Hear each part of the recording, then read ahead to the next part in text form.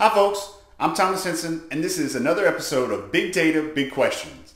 In today's episode, we're going to tackle questions around the Hadoop certification and recommendations for is it worth it, should you take it? Find out more right after this.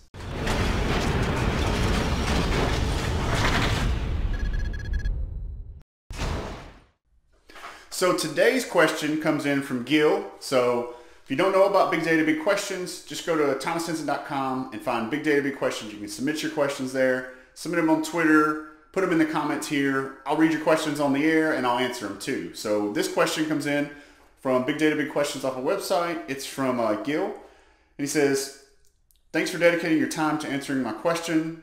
No problem. That's, I actually like doing this. It's pretty fun it gave me a lot of guidance, especially in the big data world. There are so many technologies to learn. So Gil gives me a place for his uh, LinkedIn, show me talking about how he's keeping his profile, trying to build his brand. He's saying that he's even starting to receive invitations for senior roles, but he doesn't think he has the skills yet deep down inside. Well, first off, don't sell yourself short. One of the things that we're finding in the big data community and in, in data engineering is, I mean, there aren't a lot of experts out there, right? And you know, there we've kind of been you know strapped for people that even have any some basic level Hadoop skills. So I would suggest taking those interviews and trying you know and seeing if those roles and don't don't doubt yourself because your experience and your knowledge is probably you know a lot a lot further along than some of the other senior people who who've never even touched or been around Hadoop too. So I say continue to go go forward with it. You know, if it scares you, you're probably doing the right thing. But his question is, so he's looking for open source projects and user lists to get involved with. If I know some, would I recommend them? That would be helpful. And then two, presently he's working on the Cloudera distribution. He's planning on preparing and trying to pass the Cloudera data engineering certification. So what do I think of those types of certifications? And then also, what does my day-to-day job look like and what technologies do I use most? Um, thanks. Uh, well, Gil, thanks thanks for the question again. I'm going to break it up into uh, three parts there. Um, first, tackling the open source list and some of the projects. Uh, some of the projects that I'm following and list them that I'm on, um, Apache Beam being one of them, uh, Ambari. So you know, I was really really interested and you know really involved with how that you know how we deploy Hadoop and some of the underlying uh, technologies there. Apache Beam is just something I've been, you know, following, I guess, for the last year, just trying to see where streaming analytics are going. I would get involved with Flink. That's not one of the ones that I've been on, but I've just been diving in here lately. It's probably a list that I need to get on. But I would say, you know, any of those open source projects, just pick kind of a domain where you're interested in and start, you know, start just following those lists. So if you're interested in the automation and the administration part, you know, that's where Ambari, maybe even HDFS for the storage side, and some of those, some of those lists there. But if you're interested in more of the streaming processing and the other pieces, maybe look at, you know, following the Spark community, which is huge and, you know, it's easy to get on these distributions. Flink, Beam, um, but you know, there's some other things too. Maybe if you're interested in the machine learning piece, you know, look at Mahout and MADlib and some of the other ones. So I would say, you know, just pick a couple different domains. Try not to subscribe to all of them. Otherwise, you know, you, if you've got an awesome way to manage all those emails, then then great. But I, I would suggest maybe picking, you know, three or four and just starting off there. Maybe even start answering some questions as you get involved. That's how you kind of, you know, build that brand. And so you, the main question you had too around the Cloudera distribution um, it's great that you're working in the Cloudera distribution and that you're looking to be able to get certified. So I think one, to answer your question, I think certifications are, are, a big deal. You know, you can, I don't, I don't think you have to have them, but I really think that they bring value and they help you stand out. So you're talking about building your brand and, and some of the things in your LinkedIn.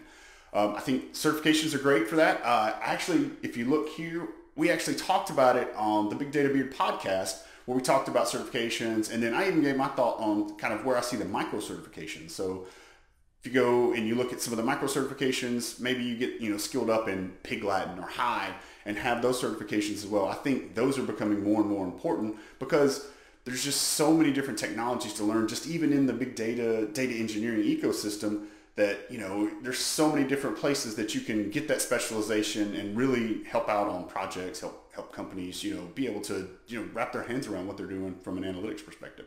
So i would encourage taking the uh, that certification. So it's the data engineer certification professional i think uh, from cloudera i would i would recommend going for it.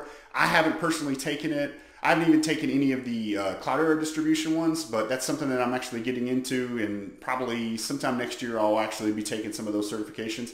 I have some friends that have taken some of the base level certifications. I know that they've changed it a little bit, so I think it used to be multiple choice and it looks like it's more hands-on now. So with it, with it being hands-on, you have an opportunity to really go in and show and figure out how that, you know, you're trying to build that scenario. So I like that concept a little bit better than the, uh, you know, just multiple choice question, which there's still value in the multiple choice, but being able to be hands-on. I think you have access to the documentation. Once again, you're researching it, you're looking at it, you know, make sure you go to the site, you know, and kind of get the overview of how that certification is going to be laid out. But I think that would be great. That's going to help you differentiate yourself. You can put it on your LinkedIn profile like you were talking about and really be able to stand out. And so the last part of the question that you asked me was you wanted to know what my day-to-day looks like and really what technologies am I involved with and using on a day-to-day basis. So for me, it's a little bit different. Uh, I've been changing quite a bit here uh, recently just with me being in the research role and kind of uh, te- more teaching and being involved with helping data engineers and, and really kind of an advocate for those data engineers with new technologies. So for the last two or three years, I've been, you know, using the same, you know, the the standard open open source Hadoop platform. So, you know, I've used uh, Hortonworks, I've used Cloudera, but I've really been focused on the open source part. So, you know, been really deep into Ambari and HDFS and recently, you know, with Apache Beam.